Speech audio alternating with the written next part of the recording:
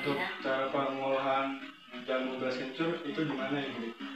Ya kalau mulanya beras kencur itu kencur baru dicuci, cuci, habis ya. dicuci dipotong-potong. Hmm. Habis dipotong-potong itu mah saya blender.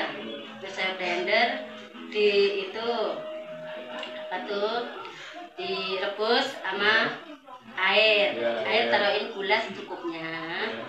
Terus itu habis itu eh, ngambil air gulanya sedikit buat blender beras. Habis itu disatuin jadi satu. Terus itu jadi satu direbus dulu. Direbus dulu kalau udah mendidih disaring. Habis disaring itu ntar kalau udah disaring dimasukin ke botol. Kalau udah mau berangkat jualan gitu masukin ke botol. Udah gitu aja.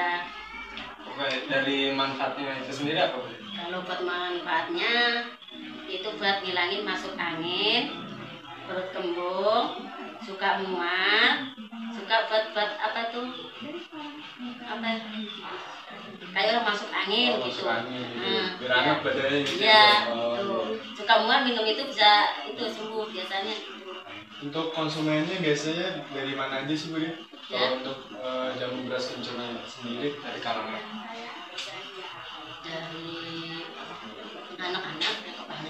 kebanyakan dari anak-anak ya. Nah, anak-anak kencur kebanyakan anak-anak.